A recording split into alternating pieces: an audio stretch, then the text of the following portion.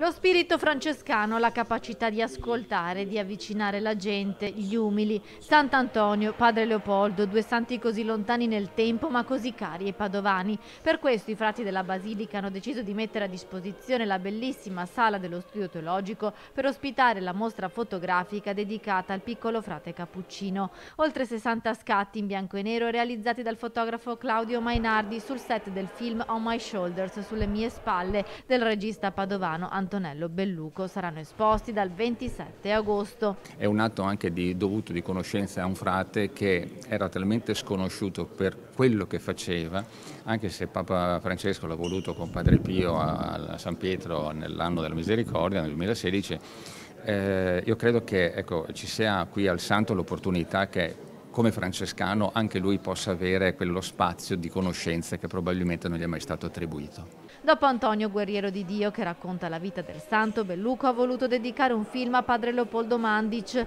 Padre Oliviero, rettore della Basilica, così accolto a braccia aperte la mostra fotografica. I due santi erano accomunati dallo spirito francescano, ha detto padre Svanera. Inoltre San Leopoldo era il confessore dei frati, quindi visitava spesso la Basilica di Sant'Antonio.